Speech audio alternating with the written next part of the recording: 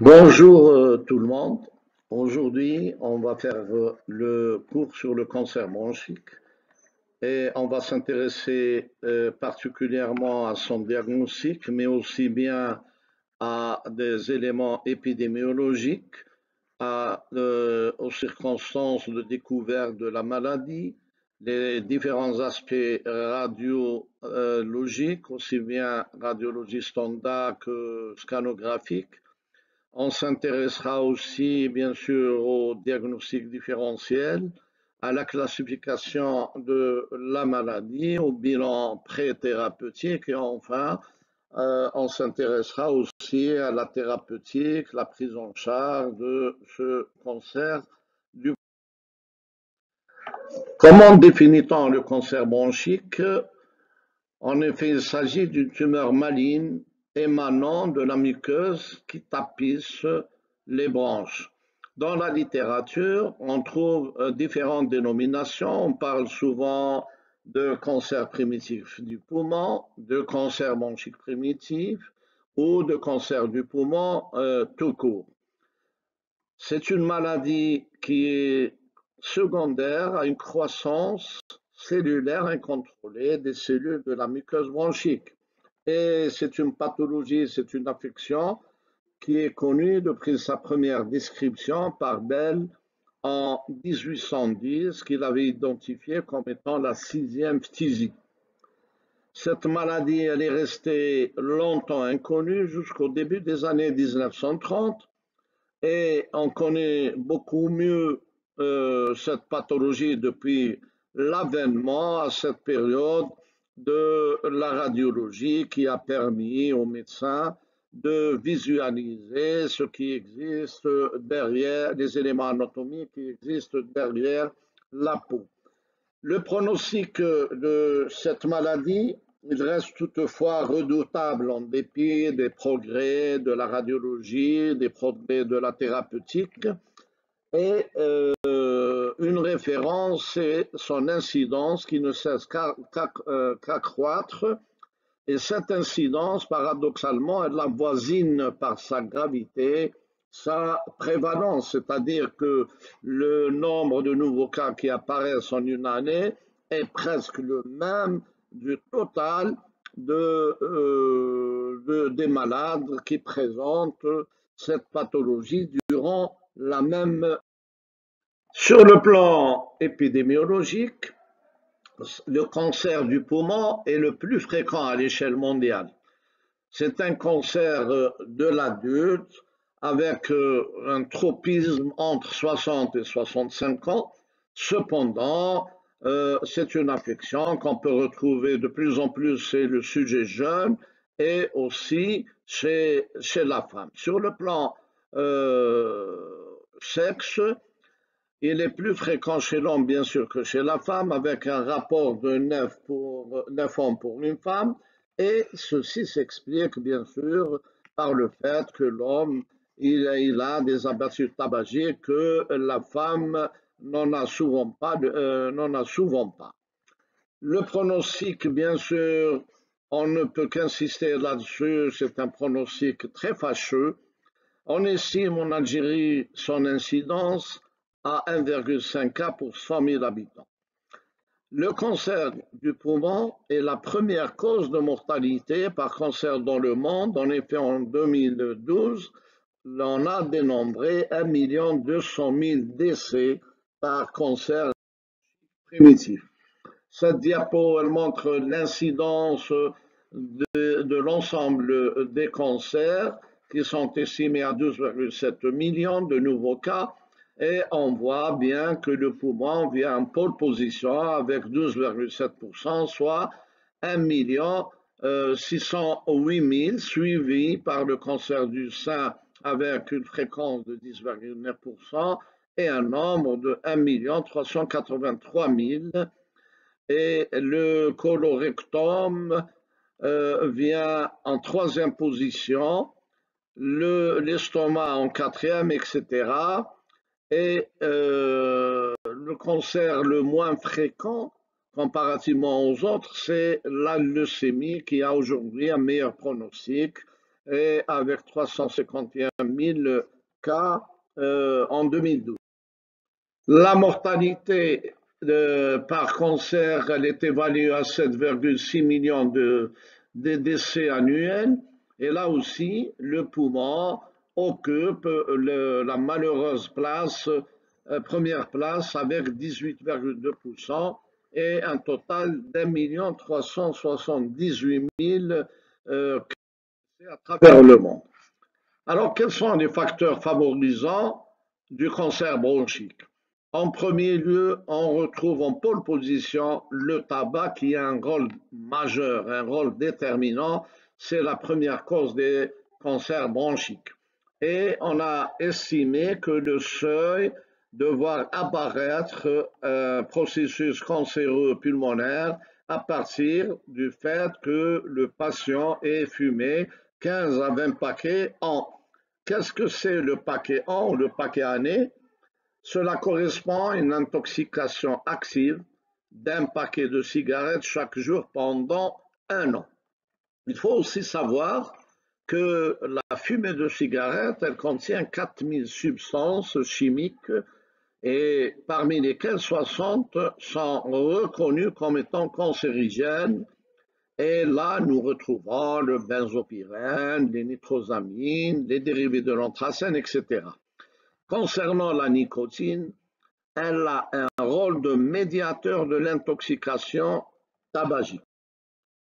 Les autres facteurs euh, exposants à un risque d'apparition de la maladie on a d'abord les facteurs d'exposition professionnelle, tels que l'exposition à l'asbeste, euh, qui va nous donner une asbestose, mais aussi peut donner un cancer du poumon. Et l'asbeste, c'est l'amiante.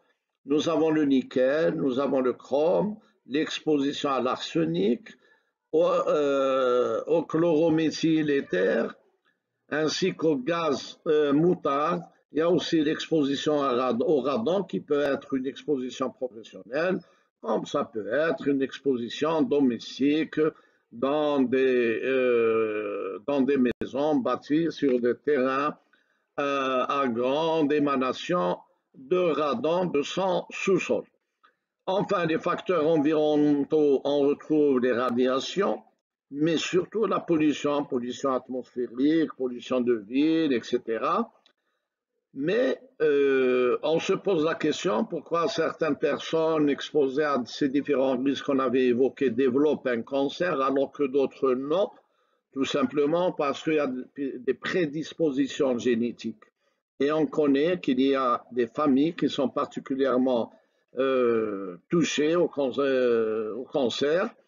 Et là, on avait découvert qu'il y a des gènes euh, qui existent, qui prédisposent, à l'émergence de cette pathologie maligne, telle que les gènes MIC qui, qui exposent, enfin qui sont derrière plutôt le carcinome à petites cellules, et on a les gènes RAS qui sont derrière l'émergence des carcinomes, etc. Sur le plan histologique, alors sur le plan histologique, l'OMS avait subdivisé les cancers bronchiques du poumon en deux groupes. On a d'abord les cancers bronchiques à, petites cellules, dans l'acronyme connu CBPC. Ce sont des tumeurs neuroendocrines qui ont la capacité de fixer la NSE, la neurone spécifique énolase, et euh, ce groupe de cancers représente environ 20%. Le second grand groupe, ce sont les cancers bronchiques à non petites cellules, c'est-à-dire à grandes cellules, dont l'acronyme c'est CBNPC. Ça comprend le cancer épidermoïde avec une proportion d'environ 35%. Ça comprend les tumeurs euh, adénocarcinomes émanant de, de cellules glandulaires et qui euh, ont une proportion une fréquence de 30 à 40% et on a enfin des carcinomes à grandes cellules avec une fréquence de 10% Concernant la clinique, quelles sont les circonstances de découverte? D'abord, un cancer bronchique peut être découvert devant des signes fonctionnels respiratoires. Le maître symptôme euh, représenté par l'atout. Tout simplement, l'atout, c'est un signe réflexe quand les branches sont soit comprimées, soit infiltrées, soit comprenant un corps étranger. Alors cette toux, elle est récente, ou elle peut être aggravée chez un bronchite chronique. C'est une toux qui réveille souvent la nuit le patient. Deuxième signe, ce sont des hémoptysies. Ça peut aller de crachat hémoptyrique jusqu'à des hémoptysies de moyenne abondance. Et l'hémoptysie est un signe d'alerte qui amène le malade à venir consulter devant chaque sujet âgé de plus de 40 ans, fumeur, il faut toujours demander un bilan spécialisé, particulièrement une bronchofibroscopie.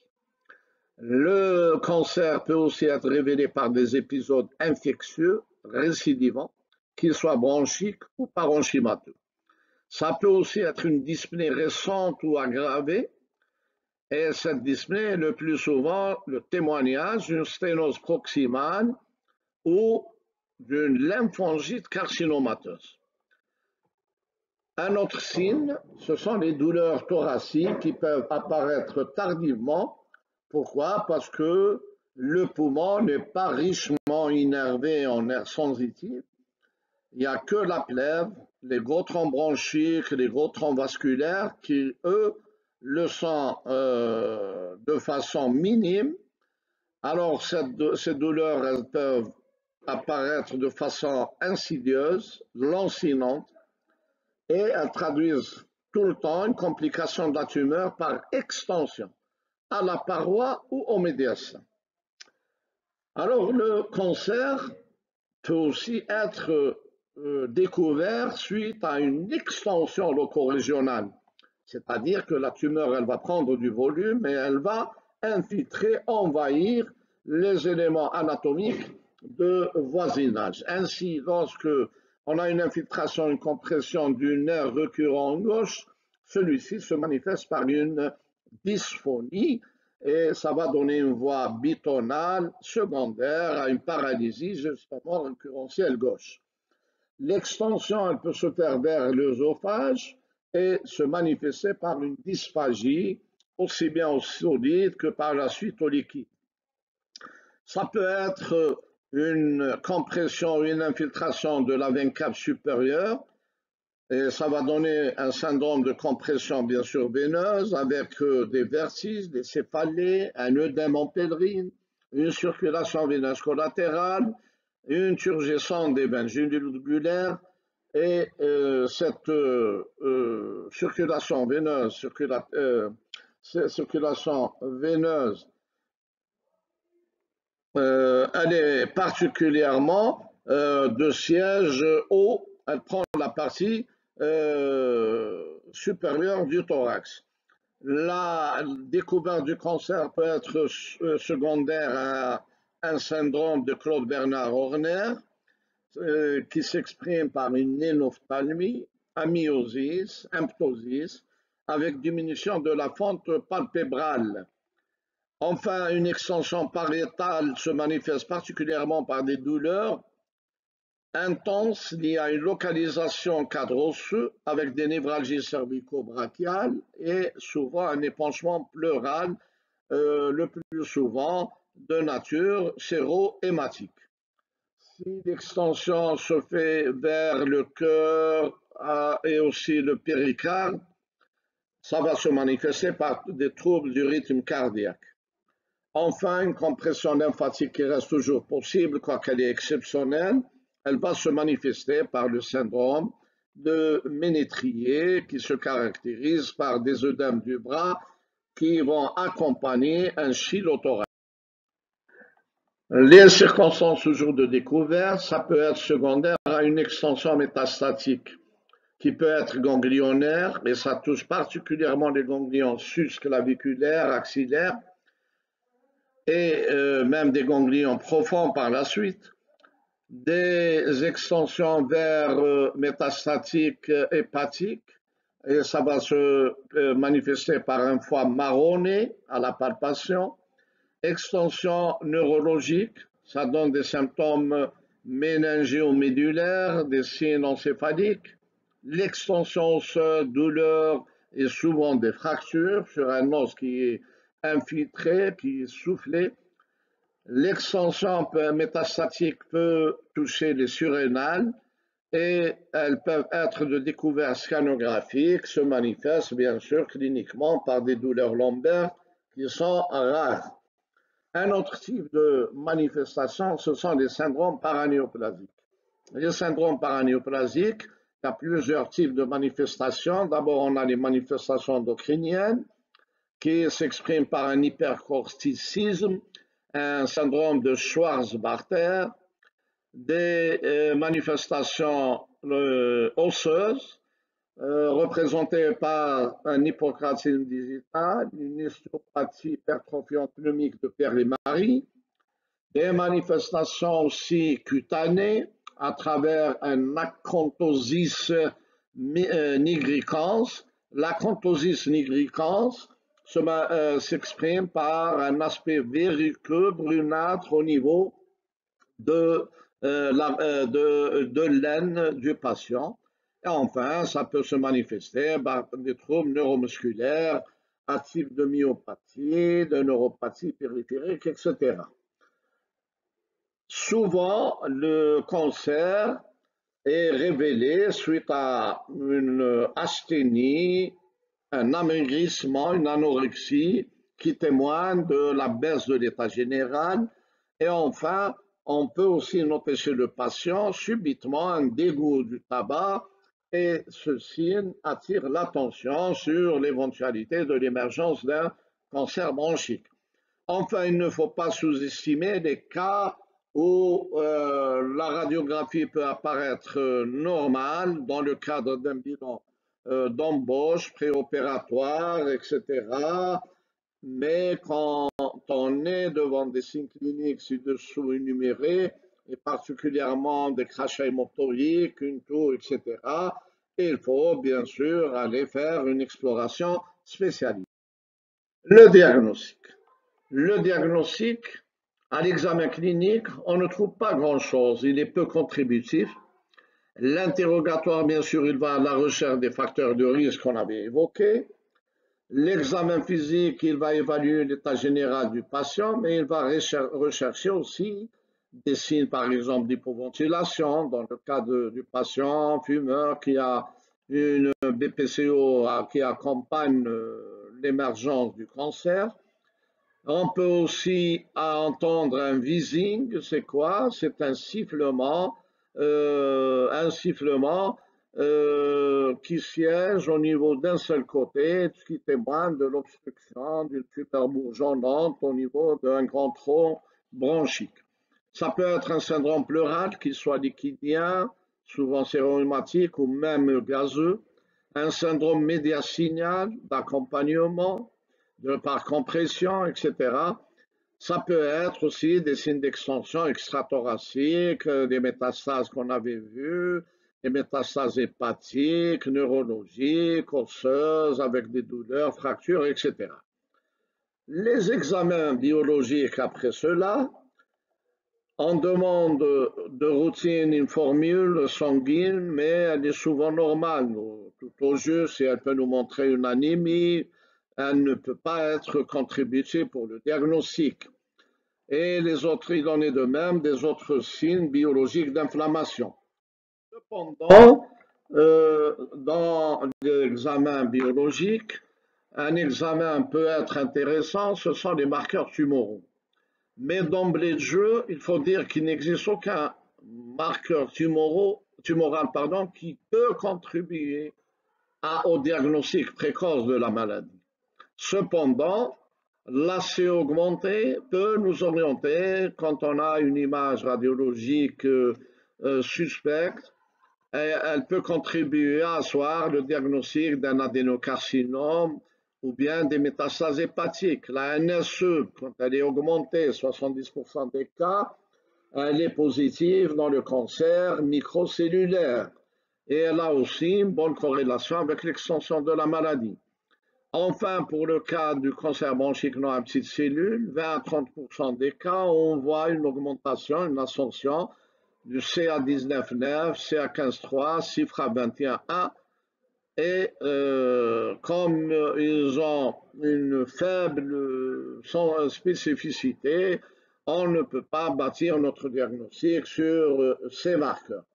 Les valeurs pronostiques pour certains d'entre eux, pour le cancer bronchique non à petites cellules, on a le CIFRA 21.1.1 et pour les cancers bronchiques à petites cellules, la neuron spécifique et non L'imagerie thoracique maintenant, l'imagerie thoracique, bien sûr la symptomatologie d'appel, elle, se focalise sur le thorax, automatiquement, on demande en premier temps, dans un premier temps, une radiographie thoracique. Et là, on va objectiver plusieurs euh, types d'aspects radiologiques, parmi lesquels trois groupes d'images, trois genres d'images sont très fréquentes et euh, un peu euh, particulières, puisqu'on les retrouve fréquemment dans le cas du cancer bronchique primitif. Il y a d'abord l'image de la télectasie. La télectasie, elle peut être segmentaire, lobaire ou même euh, pulmonaire. Et ces téléctasies, ça témoigne de l'envahissement de, de ces branches, soit segmentaires, soit lobaires, soit de la, des branches souches. On peut avoir une image c'est une opacité qui déborde la région hilaire, euh, c'est une opacité qui ressemble à un, un ganglion d'un certain volume, mais dans la surface, elle est hérissée on a des trabiculations qui partent à la périphérie. Ce sont des trabiculations qui témoignent de microatélectasie. Enfin, ça peut être euh, le plus fréquemment euh, du temps d'une image ronde intraparenchymateuse. Là aussi, la périphérie, elle n'est jamais bien limitée, telle qu'on voit ce type d'image dans les tumeurs euh, bénignes ou bien dans le kystidatique. Là, la, périphérie, soit trouve des aspects un petit peu polylobés, mais surtout on peut trouver là, aussi des trabiculations qui partent de la périphérie et donnant un aspect en pâte de crabe. C'est euh, la, similitude qu'on fait euh, entre cette image et un crabe. Enfin, euh, on peut être confronté devant une image excavée. L'image excavée, le plus souvent, elle est consécutive à un cancer épidermoïde. Pourquoi? Parce que le cancer épidermoïde a un temps d'évolution relativement plus lent par rapport aux autres tumeurs. Or, la tumeur, quand elle évolue lentement, à chaque mitose, il y a des micro-vaisseaux qui se forment à la périphérie, et ainsi de suite. À chaque fois qu'il y a un dédoublement, les, vaisseaux néoformés au préalable vont être détruits. Ainsi de suite, le centre va être non vascularisé du tout par absence de, de ces néovaisseaux et un tissu qui n'est pas vascularisé va automatiquement passer à la nécrose. Et la nécrose, nous le savons, elle évolue vers la purulence et le, pu, c'est une règle, le pu n'accepte pas d'être cloisonné dans un espace euh, euh, où il peut être enfermé pour une longue durée. Non, le pu va perforer la, couche périphérique et il va s'extérioriser à travers une branche de drainage qui va évacuer ce liquide purulent, donnant un aspect d'image cavitaire qui a là aussi sa particularité. L'intérieur de la, cavité, les bords de la paroi interne, elles sont irrégulières, elles sont irrissées, on dit qu'elles sont anfractueuses. Pourquoi? Parce que la nécrose ne, se, ne, passe pas euh, au même moment partout dans toute la surface de la masse humorale. Euh, d'un seul coup. Donc, c'est des territoires qui vont s'exposer au fur et à mesure, et ainsi la purulence, bien sûr, elle varie d'un territoire à l'autre, et on aura des clartés au sein d'une image euh, opaque, on aura un niveau des fois hydroaérique, mais dans tous les cas, c'est une image à paroi épaisse et c'est euh, le niveau n'est pas tout à fait rectiligne sur le bord. On trouve une petite pente qui témoigne que c'est plutôt un tissu qui pend sur le liquide. Enfin, on peut avoir des images pleurales, liquidiennes, souvent gazeuses. Quand elles sont liquidiennes, quand bien même l'épanchement pourrait être important, on ne note pas de refoulement tel qu'on le connaît dans une pleurésie sérofibrineuse simple où le poids du liquide va pousser vers le côté contralatéral la masse médiacinale. Ici, ce n'est pas le cas, tout simplement parce qu'il y a une masse tumorale cachée par l'épanchement et la tumeur, on sait qu'elle donne une attraction, elle donne une atélectasie, donc elle va retracter, attirer vers elle les éléments de voisinage, les organes de voisinage tels que le médiacin, la trachée, etc.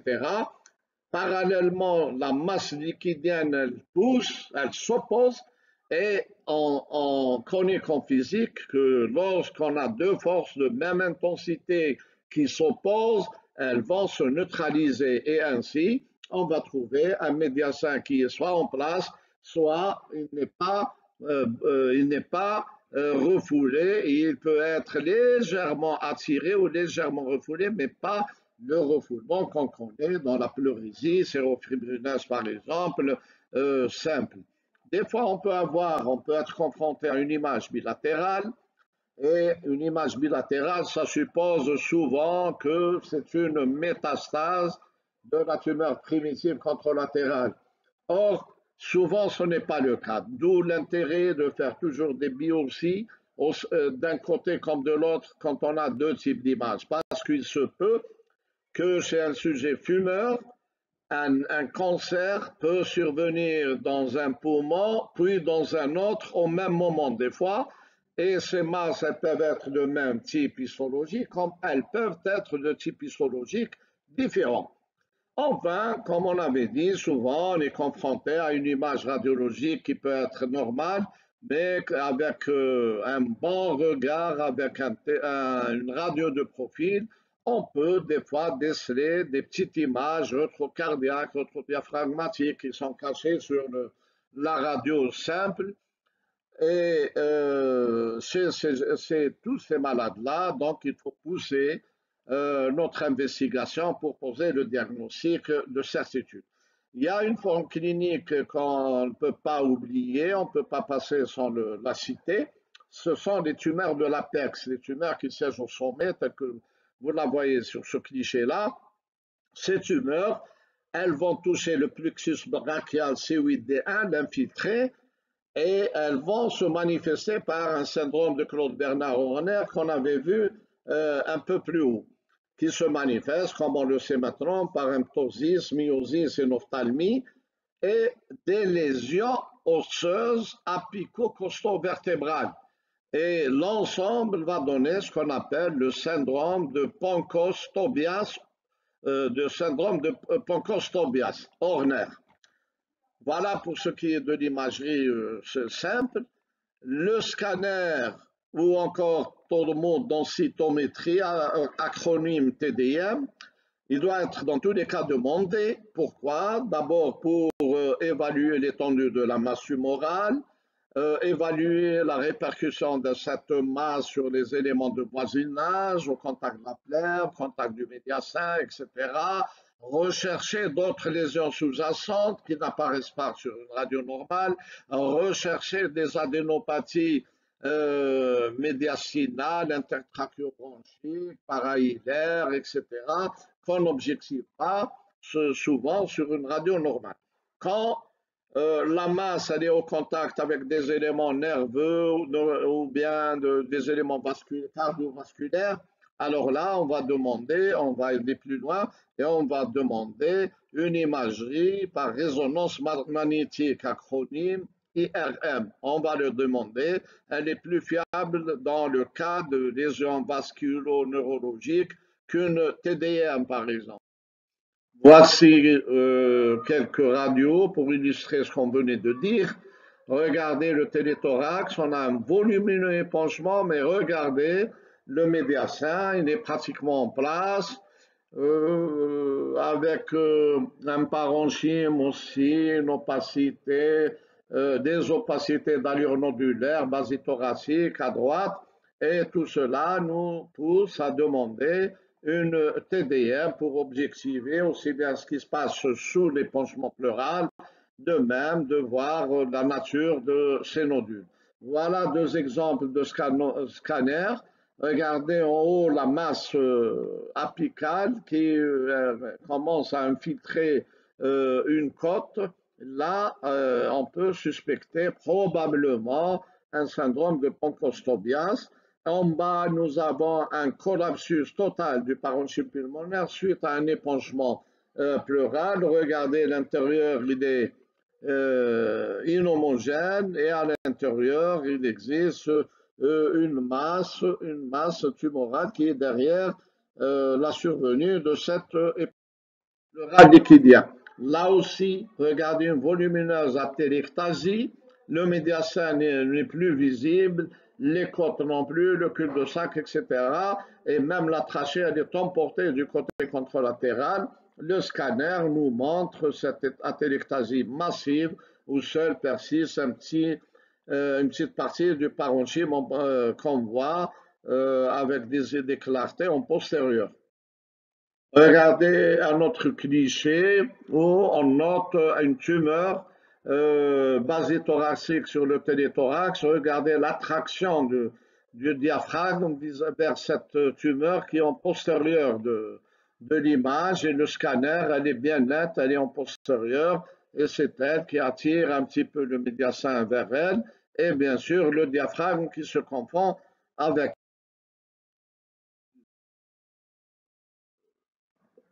Voilà.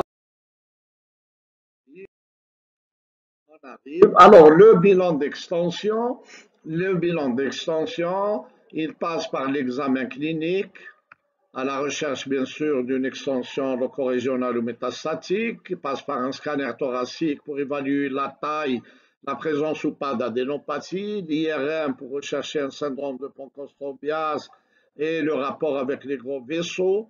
Une échographie abdominale doit être faite pour rechercher des métastases hépatiques. Le scanner sur une alien, il est euh, plus sensible, euh, mais diagnostic difficile avec les adénomes le scanner cérébral à la recherche de métastases cérébrales, la scintigraphie osseuse, sensible, mais elle n'est pas toujours spécifique. On lui, préfère maintenant le PET scan. Le PET scan, c'est un scanner qui a une affinité pour euh, le glucose. Donc, on fait une perfusion de sérum hyperglucosé les cellules malignes ont une affinité pour la substance sucrée, ils vont fixer justement ce glucose et quand on développe le cliché, on trouve des foyers de fixation qui apparaissent rougeâtres et qui témoignent de foyers secondaires. Et quand on a bien sûr euh, une atteinte osseuse, on fait une ponction biopsie.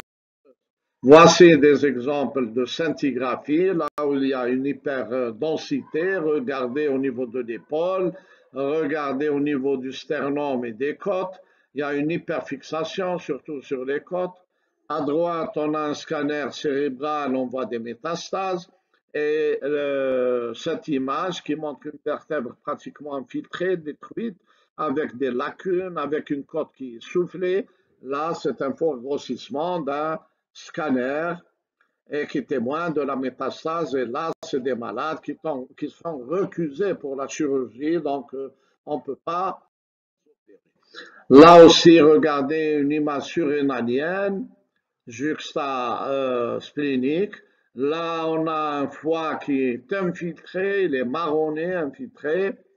Et euh, ici, euh, c'est une coupe là aussi cérébrale. Regardez des métastases au niveau de, du tissu cérébral.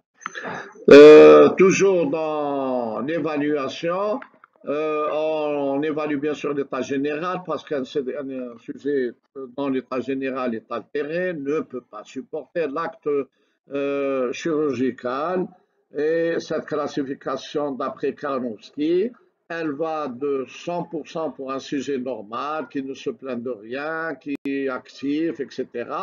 En, euh, bien sûr, en descendant par palier de 10%, par exemple à 50%, le malade a besoin d'une assistance et de soins médicaux fréquents. Et à 10%, on est devant un malade moribond qui est, euh, qui est sur le point de mourir et le décès, bien sûr, est à 0%. Le bilan fonctionnel, il consiste à faire, bien sûr, une spirométrie et surtout faire une courbe débit-volume. Et il faudrait que, là aussi, à la spirométrie, le VMS prévisible post-opératoire doit être égal au tiers de la valeur théorique préopératoire. On doit faire une gazométrie pour voir l'état de l'hypoxémie, l'hypercapnie, etc.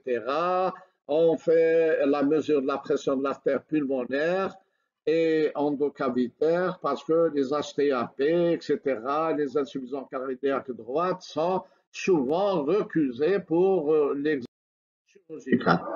Au-delà de ça, on classe notre euh, tumeur. Il y a la classification TNM. T, c'est l'étendue de la tumeur. N, c'est les nodules. Node, c'est les ganglions. Et M, c'est les métastases. Et là, vous avez cette classification. Elle va de T0, euh, où il n'y a pas de tumeur primitive, à T3, où la tumeur, quelle que soit sa taille, va envahir directement la paroi, telle que la tumeur apicale, le diaphragme, la pilaire médiastinale, etc. Pour la tumeur T4, alors là, le T4, c'est lorsqu'il y a un nom, quelle que soit la taille bien sûr de la tumeur, mais avec un envahissement du médiastin, des gros vaisseaux, la trachée, l'œsophage, un corps vertébral, etc. Elle est classée. Les envahissements ganglionnaires, ça va de 1,0 à 1,3. N1 présente de métastases au ganglion péribronchique et est homolatéraux. 1,3, c'est un envahissement des ganglions lymphatiques médiastinaux ilaires contralatéraux et ou des ganglions scaléniques et susclaviculaires. Enfin, les métastases, quand il n'y a pas de métastases, on met M0. Quand il y a une métastase thoracique distante, euh, dans n'importe quel organe, c'est M1A. Et quand euh, il y a une métastase thoracique à distance, euh, là, on la classe M1. Et la classification stagique se fait euh, en incluant le T, le N et le M, et ainsi on classe stade 1A, T1, N0, M0, T2 par exemple, c'est T1, N1, M0, alors le, T2, le stade 2 se débouse en A et B, le B c'est T2, N1, M0, T3, N0, M0 ainsi de suite jusqu'à N4. Vous avez une illustration sur votre droite. Le traitement. Le traitement, on a dit que le seul traitement curatif, c'est la chirurgie. Elle s'adresse au stade 1 et 2. Le stade 3, il y a cette difficulté de trancher entre le ganglion, s'agit-il d'un ganglion réactionnel ou métastatique. Quand un ganglion dépasse les 10 mm, il est hautement suspect de malignité et c'est un équivalent de 1 M on fait, euh, lors de l'acte chirurgical, soit une lobectomie, soit une pneumonectomie avec curage ganglionnaire médiacino-hilaire. On termine toujours par faire de la kinésithérapie à nos patients pour euh, la flexibilité de la paroi, etc. Euh, concernant les cas de rechute, un trop grand nombre de ces patients hormis les T1-0, rechute sur le plan loco-régional ou métastatique. Enfin, il faut savoir que la radiothérapie adjuvante pré ou post-opératoire n'améliore pas le pronostic global. La radiothérapie et la prescription dans le stade 1 et 2 inopérables, on donne des charges de 60 degrés. Quand on va fragmenter entre 1,8 et 2 degrés par semaine pendant 6 semaines, et le médiacin, lui, subit à part une irradiation d'une dose de 45 degrés, ainsi que sur les processus claviculaires. Les récidives sont fréquentes et on a des complications qui apparaissent après des séances radiques telles que brûlure cutanée, complications œsophagiennes. Enfin, stade 3 et 4, on, délire 60 degrés avec bien sûr un taux de réponse régional de l'ordre de 50 à 60%. C'est un peu limité. Les taux de survie à 1 et 2 ans sont respectivement de 41 et 19%, mais la survie à 5 ans n'est que la chimiothérapie.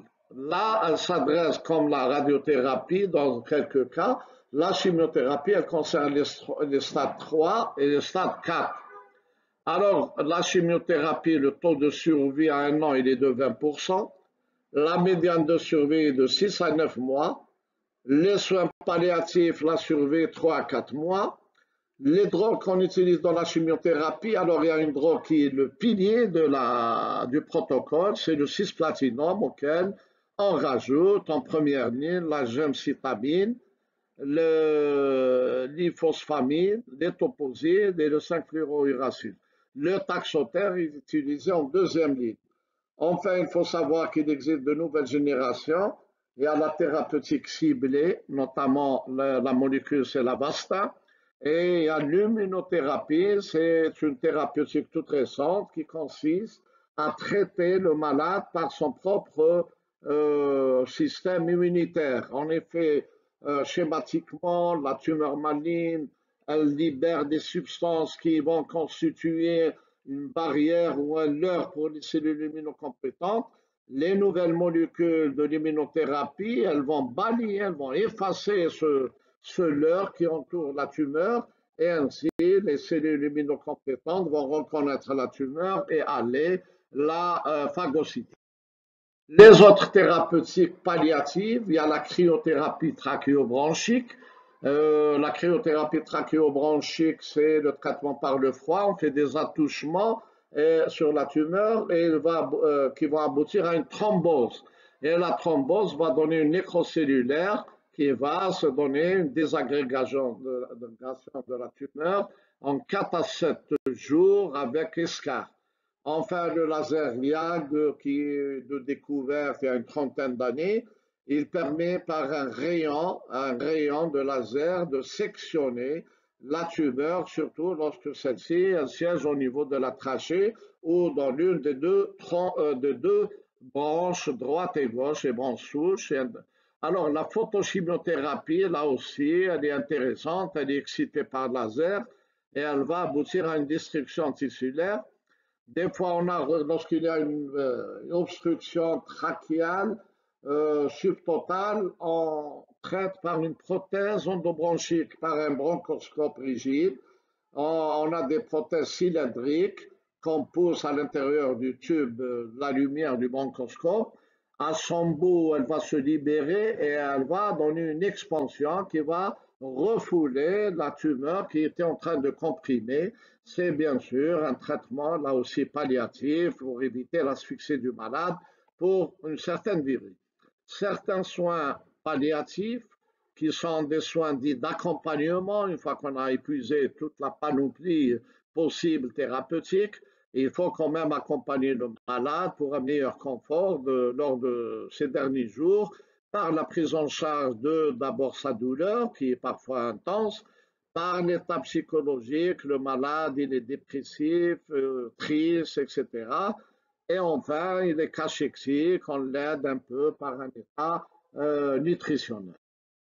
Le cancer bronchique, en résumé, c'est une maladie, on l'avait vu, redoutable, avec un taux de survie local qui ne dépasse guère les 2%, à, les 2 à 5 ans.